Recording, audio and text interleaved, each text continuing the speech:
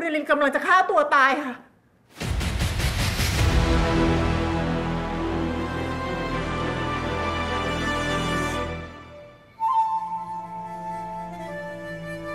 หากเราอยู่ที่ยุทธภพ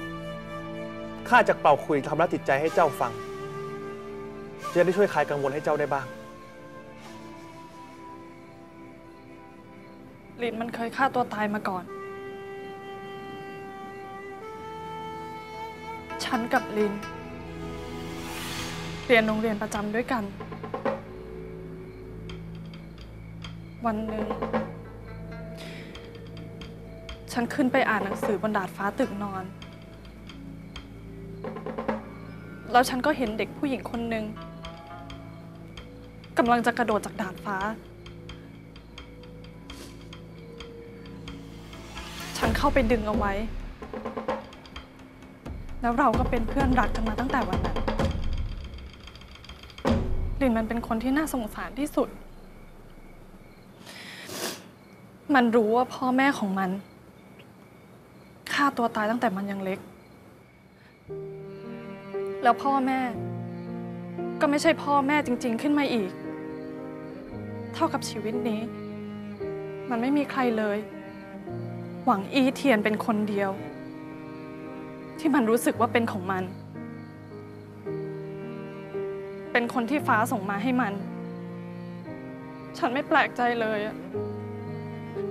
ถ้ามันจะฆ่าตัวตายตามหวังอี้เทียนไป